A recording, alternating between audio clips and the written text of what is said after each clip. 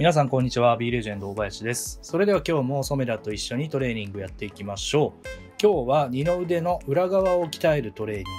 キックバックという種目をやっていきます。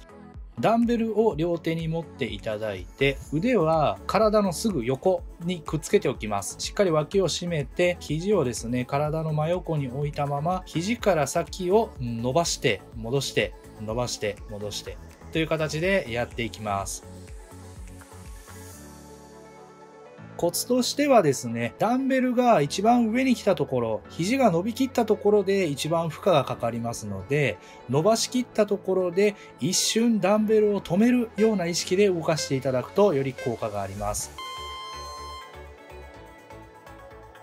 一番上に上げた時に、えー、肘が動かないようにダンベルと一緒に肘まで上下しないように意識をしていただいて必ず肘の位置は体の真横で動かないように固定をしながらやってみてください。ダンベルがない方はペットボトルにお水を入れていただいてダンベルの代わりにしていただくのもおすすめです。ソメダは15回3セットやっていますけども、重りを増やして10回3セットでも構いませんし、重量がね、ちょっと軽いのしかないよっていう方は20回ですとか30回といったように回数を増やしていただいても構いません。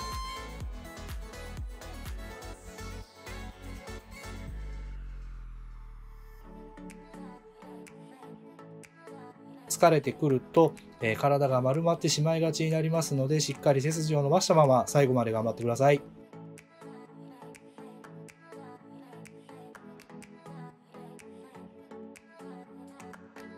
はい、お疲れ様でした。